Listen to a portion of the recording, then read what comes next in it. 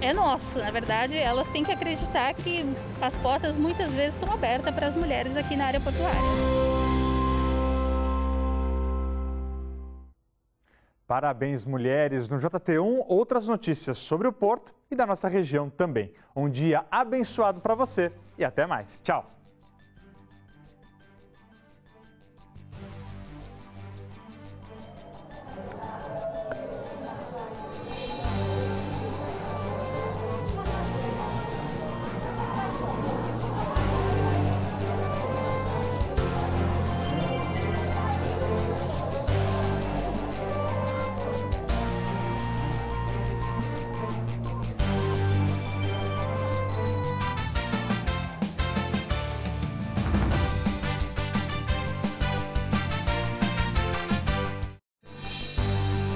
Bom Dia Região. Oferecimento Credilar Construtora.